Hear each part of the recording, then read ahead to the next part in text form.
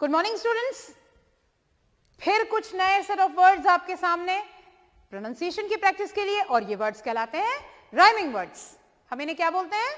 Rhyming words very good चलिए, आज हम देखेंगे ऑक ऑक वर्ड्स और unch words unch and ock start करेंगे ऑक वर्ड से. आप तो सीख गए. र ऑक रॉक ऑक लॉक ऑक आक नहीं है. लाक राक रॉन्ग समझ में आया आपको? ऑक ऑक ऑक र ऑक रॉक ल ऑक लॉक साथ में बोलिए. Rock and lock rock and lock clear अब आते हैं हम अंच वर्ड पे। अंच अंच च को ज़्यादा फोर्स नहीं देना है, ज़्यादा लंबा नहीं खींचना। अंच अंच ल अंच लंच म अंच मंच प अंच पंच पढ़िए। ब अंच बंच ह अंच हंच इसको एक साथ पढ़ेंगे। क्र। क्र अंच क्रंच। Once again अंच वर्ड्स ल अंच लंच म अंच मंच प अंच पंच, ब अंच, बंच, ह अंच, हंच एंड क्र अंच, क्रंच। पूरा एक साथ set of words lunch, munch, punch, bunch, hunch and crunch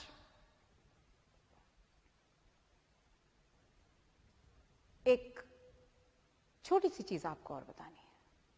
अभी तक हमने देखा बेटा मिलती जुलती स्पेलिंग्स साउंड एक जैसे राइमिंग कई बार ऐसा होता है कि स्पेलिंग्स अलग दिखती हैं, पर जब हम बोलते हैं तो उनका साउंड उच्चारण एक जैसा होता है।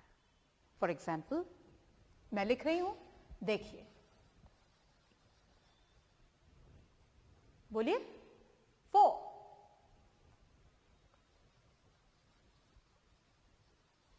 बोलिए। मोर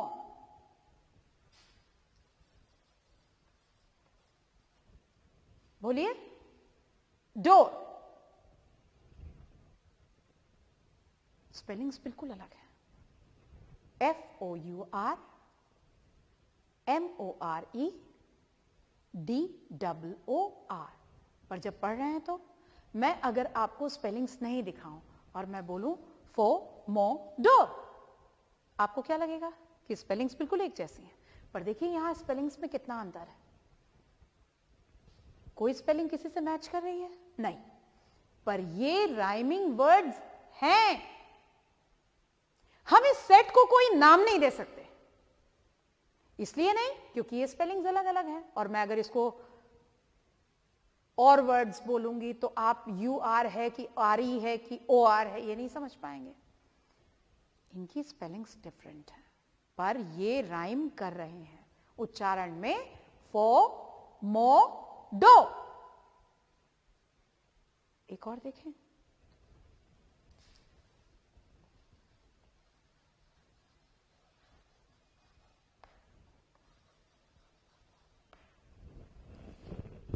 पढ़िए।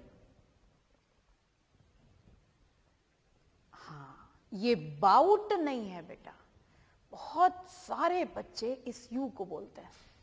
बाउट आपने इसको बाउट बोला और ये गलत हो जाएगा। ये बाउट नहीं है। ये बॉट बॉट बॉट बोलिए।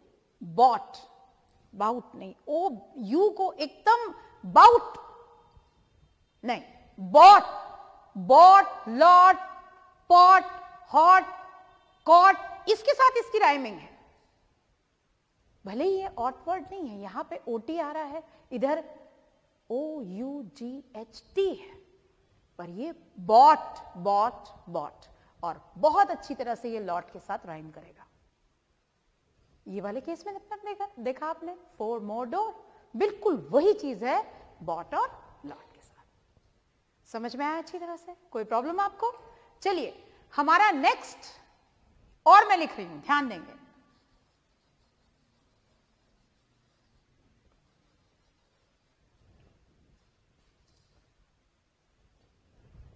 Snow. Snow.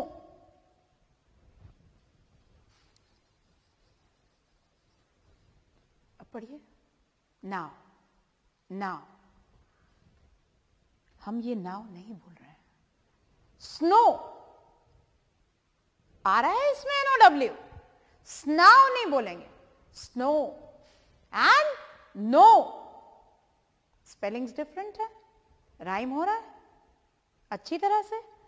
Snow no snow no एक बार मेरे साथ इन वर्ड्स को आप दोहराएँगे। फो more door four more door bought lot. Bought lot. Snow no. कुछ और लिखें? चल।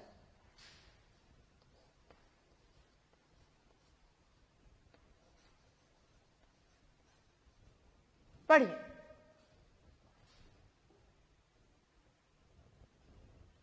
poor poor do poor do wrong बिल्कुल रॉन्ग लेकिन spelling double O R double O R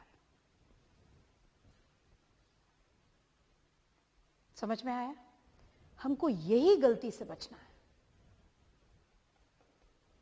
generally अगर हमने स्पेलिंग्स को देखा तो हम तो ये सबको गलत कर देंगे।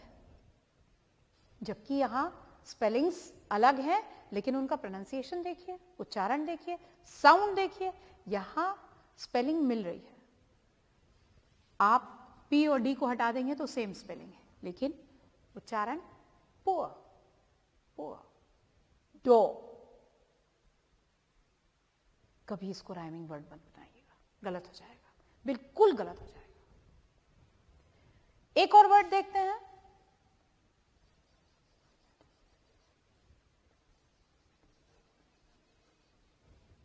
पढ़िए।